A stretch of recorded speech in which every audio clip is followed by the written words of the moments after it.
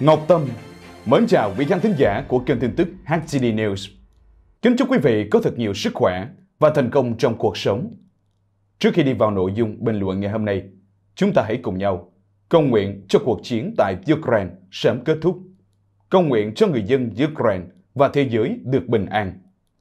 Sau đây chúng tôi xin gửi tới quý vị bài phân tích bình luận có tựa đề Nga có nguy cơ thua thảm trong chiến tranh khi Putin nguồn lực chạm đáy.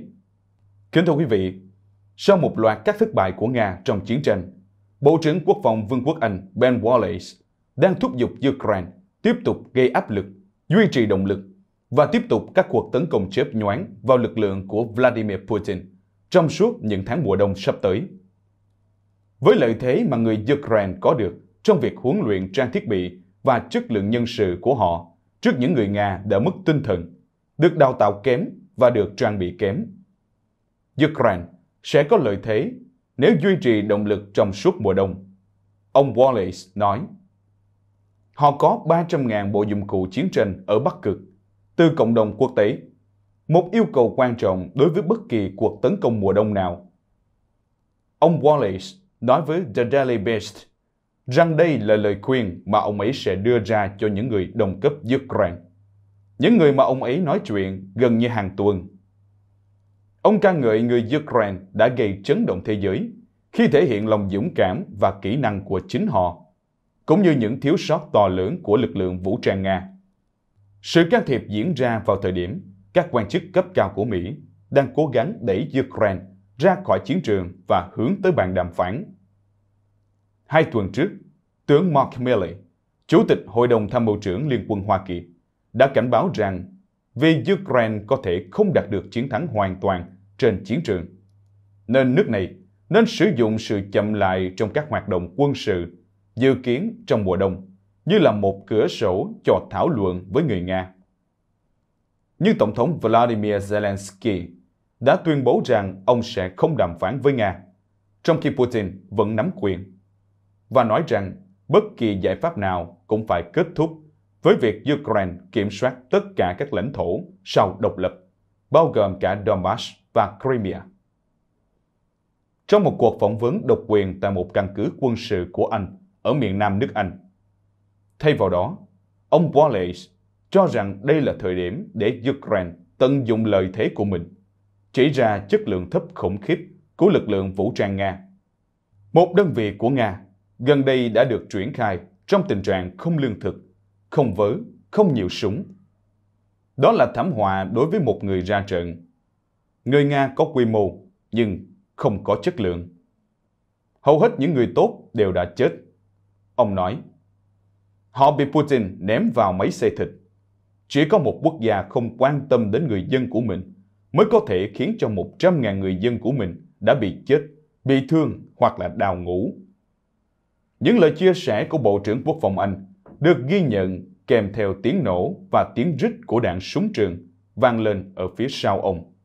Từ một bãi tập, nơi một nhóm huấn luyện viên từ quân đội Anh và New Zealand đang hướng dẫn lực lượng Ukraine. Khoảng 5.000 binh sĩ Ukraine đã trải qua một chương trình huấn luyện khắc nghiệt, kéo dài từ 3 cho đến 5 tuần, được thiết kế để cung cấp cho họ một khóa học cấp tốc về những điều cơ bản của chiến đấu hiện đại. Chương trình do Vương quốc Anh điều hành, với các giảng viên được cử đến từ các quốc gia bao gồm Canada, New Zealand và Na Uy. Họ được dạy các chiến thuật bộ binh rút gọn, tập trung vào khả năng sống sót và sát thương. Như một huấn luyện viên đã nói, nhiều người được gửi thẳng ra tiền tuyến sau khi kết thúc. Trong một cuộc phỏng vấn với The Daily Beast, ông Wallace cũng chỉ trích các chính phủ liên tiếp của Vương quốc Anh và châu Âu vì đã bỏ bê lực lượng vũ trang của họ trong nhiều thập kỷ. Khi được hỏi ông đã học được gì từ kinh nghiệm thăm và làm việc với những người đồng cấp Ukraine, ông nói, tôi có thể nói cho chính mình và một số người khác ở châu Âu. Nó có vẻ tốt ở phía trước, nhưng bên dưới nắp capo, kho vũ khí, bảo trì, tính sẵn có, độ tin cậy của thiết bị của chúng tôi và sự sẵn sàng của những người lính của chúng tôi để đi bất cứ nơi nào đã bị rỗng trong nhiều thập kỷ. Ông lưu ý rằng một loạt các cuộc khủng hoảng toàn cầu, bao gồm cuộc xâm lược của Nga vào Ukraine, đại dịch Covid và sự trỗi dậy của Trung Quốc, có nghĩa là thế giới lo lắng hơn và nhận thức được sự cần thiết của khả năng phục hồi và quân đội có thể làm được khả năng phục hồi. Vương quốc Anh thường có cái nhìn lạc quan hơn về chuyển vọng của Ukraine so với một số nước đối tác, bao gồm cả Hoa Kỳ. Một quan chức quân sự cấp cao của Ukraine làm việc liên lạc với quân đội nước ngoài nói rằng cam kết của Anh vượt xa cam kết của hầu hết các quốc gia khác. Phát biểu với điều kiện giấu tên để thảo luận về các chi tiết quân sự nhạy cảm. Ông lưu ý rằng các quan chức tại Bộ Quốc phòng Vương quốc Anh rất tận tụy, thường xuyên làm việc ngoài giờ và vào cuối tuần tại các điểm quan trọng của chiến dịch quân sự. Nếu các lực lượng vũ trang của chúng tôi cần một phương tiện hoặc là một loại vũ khí cụ thể, người Anh sẽ tìm kiếm trong các danh mục quân sự của các quốc gia khác và tìm thấy thứ chúng tôi cần. Ông nói thêm, trích dẫn hỏa tiện Bushmaster của Úc làm ví dụ. Quan chức quân sự Ukraine cũng đề cập đến các chuyến đi sớm và thường xuyên của cựu Thủ tướng Anh Boris Johnson tới Kiev để gặp Zelensky là một yếu tố quan trọng thúc đẩy tinh thần Ukraine và thể hiện sự ủng hộ của quốc tế.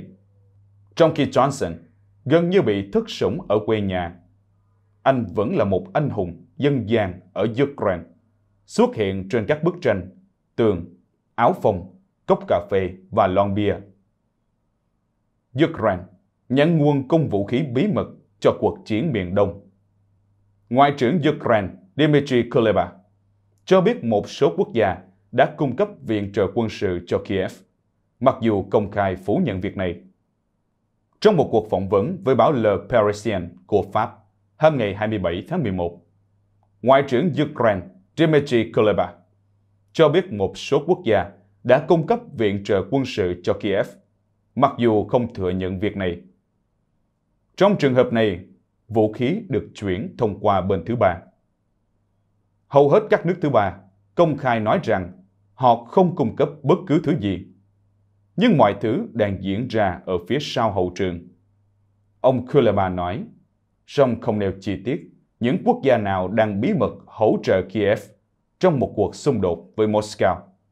Bình luận của Ngoại trưởng Kuleba được đưa ra trong bối cảnh ngày càng có nhiều báo cáo cho rằng những nước ủng hộ Ukraine, bao gồm một số quốc gia NATO, đang gặp phải tình trạng thiếu vũ khí do liên tục ủng hộ Kiev.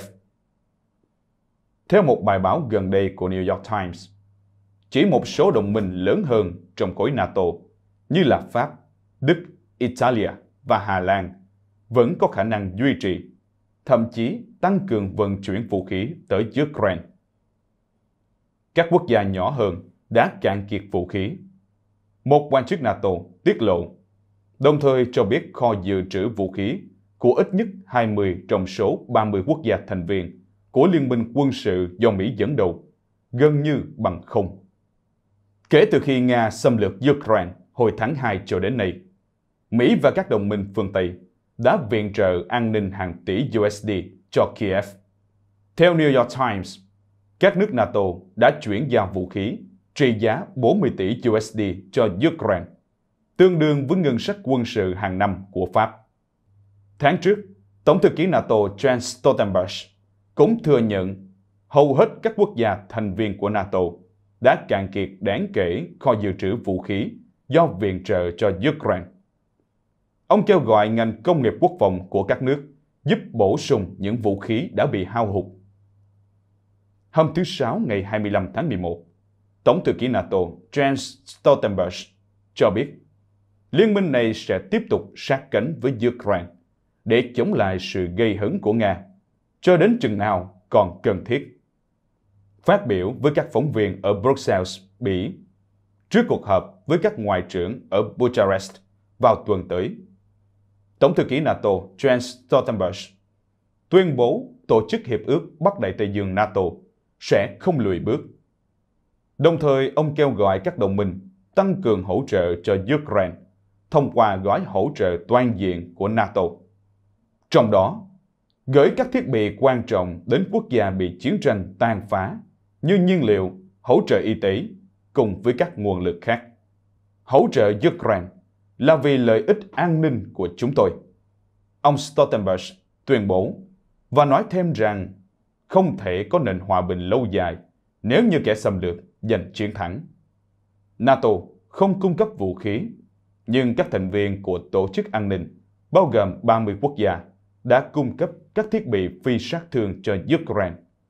Mặc dù ông Stoltenberg nhấn mạnh rằng cần tăng cường viện trợ cho Kiev khi mùa đông đang cận kề.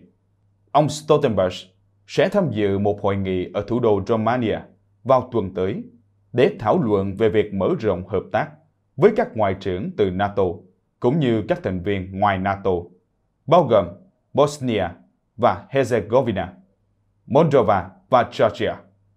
Hội nghị thượng đỉnh tại Bucharest sẽ kéo dài 2 ngày từ ngày 29 tháng 11 đến ngày 30 tháng 11. Hội nghị này được tổ chức gần 15 năm sau khi NATO hứa hẹn rằng một ngày nào đó Ukraine và Georgia sẽ trở thành thành viên của liên minh này. Một cam kết khiến Nga vô cùng tức giận. Phần Lan và Thụy Điển, hai quốc gia Bắc Âu mới gia nhập liên minh quân sự này, cũng sẽ tham gia các cuộc thảo luận ở Bucharest, theo người đứng đầu NATO. Ông Stoltenberg nhấn mạnh rằng đã đến lúc hai nước hoàn tất quá trình gia nhập liên minh và được chào đón với tư cách là thành viên chính thức của NATO. Và thông tin vừa rồi cũng đã kết thúc nội dung phần tin tức bình luận của chúng tôi tại đây. Một lần nữa, đội ngũ HTD News mời gọi quý vị khán thính giả bấm vào đường link trong phần mô tả hoặc ở phần bình luận để cập nhật lại kênh HTD mới. Chúng tôi xin chân thành cảm ơn và hẹn gặp lại quý vị ở bản tin kế tiếp.